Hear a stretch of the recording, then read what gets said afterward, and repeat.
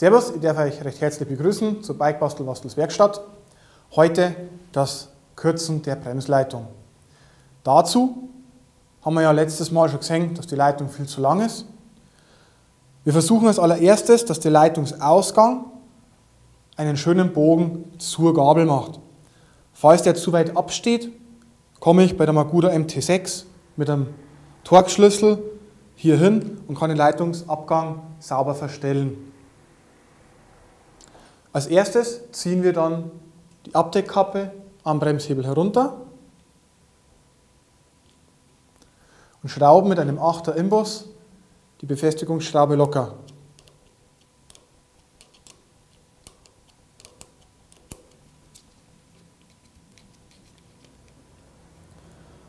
Vorsichtig die Befestigungsschraube nach unten nehmen und das Bremskabel herausführen.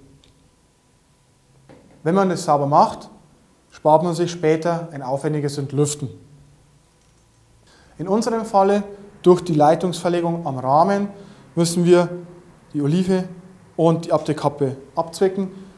Dadurch, dass wir die Leitung ablängen, fällt uns das sowieso entgegen. Dazu kürze ich erstmal am obersten Ende mit einem Seitenschneider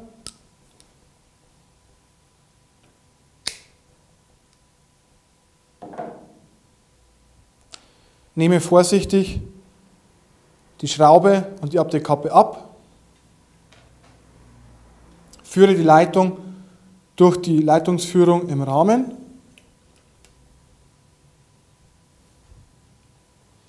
Und lege die Leitung schön in den Bremshebel, so dass ich einen kleinen Weg nur habe, keine zu großen Bogen machen, da fängt sich später mal die Lenkertasche oder auch mal ein Ast oder ein Baum Deswegen umso kürzer, umso besser und umso stylischer auch danach. Ich verlege es optimal von der Länge her, schöne Radien, enge Radien, aber auch keine Knicke. Anschließend markiere ich mir das mit dem Daumen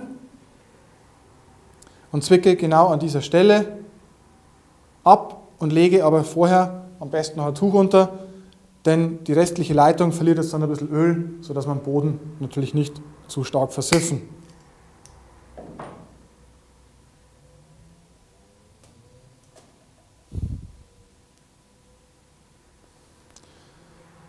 Die abgeschnittene Leitung drücken wir mit der Kombizange etwas so, dass wir wieder einen runden Querschnitt haben. Fädeln als erstes die Abdeckkappe auf. Anschließend die Befestigungsschraube. Dann eine neue Magura-Olive, die zum Quetschen des Schlauches zuständig ist. Und ganz zum Schluss wird es jetzt ein bisschen fummelig. Wir haben hier so einen Innenanschlag, der wird reingesteckt. Es gibt Spezialwerkzeuge, zum Beispiel von Jackwire, um das perfekt zu montieren, was man natürlich nicht zu Hause hat. Dazu nehme ich jetzt hier den Lappen, umschließe das Bremskabel fest, nehme einen Gummihammer und treibe das mit vorsichtigen Schlägen in die Bremsleitung ein, bis wir hier oben einen bündigen Anschluss haben.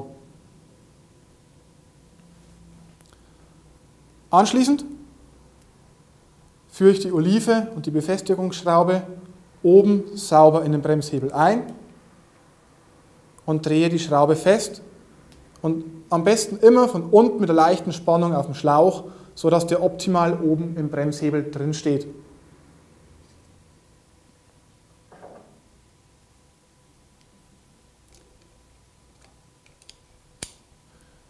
Mit meinem 8 mm Gabelschlüssel drehe ich dann diese Schraube wieder sauber fest, so dass ich die Olive im Inneren quetsche und der Brems Schlauch wirklich bombenfest im Bremshebel sitzt.